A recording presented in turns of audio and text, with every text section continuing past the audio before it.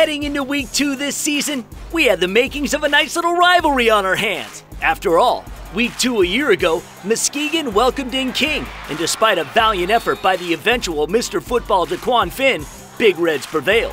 Then, in 2018's Division III state championship game, these two met again, and it was Finn who saved his best for last, and King won in fairly decisive fashion.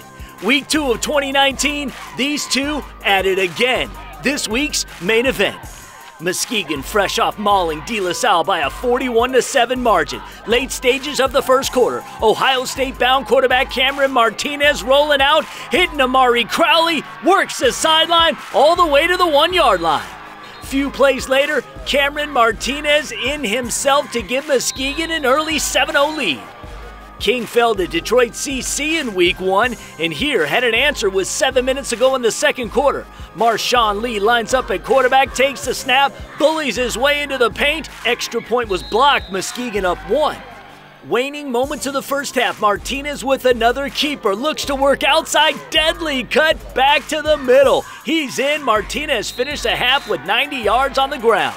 Muskegon continued to roll. Japri Henderson slams it in from five yards out. Muskegon 21, King 6.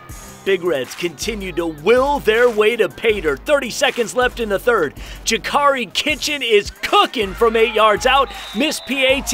Muskegon up 21. King would find the end zone. Dante Moore links up with another Mr. Football candidate, Rashawn Williams. The Indiana commit fights his way past the goal line. Crusaders would go for two but fall short. Big Reds up 27 12 end of the third, and this is why right now it's Mr. Martinez, Mr. Football Trophy to lose. Special teams takes the kick off the bounce, stays on his feet to the sideline, and just wins.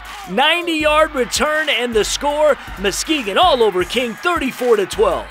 Martinez finished with 358 yards of total offense out of the pocket, chucks one on the run to Crowley, wide open in the end zone, 28 yard connection. Big Reds win big. Two defending state champs in consecutive weeks left in their wake. All right, so we're here with Muskegon's quarterback, number 13, Cameron Martinez.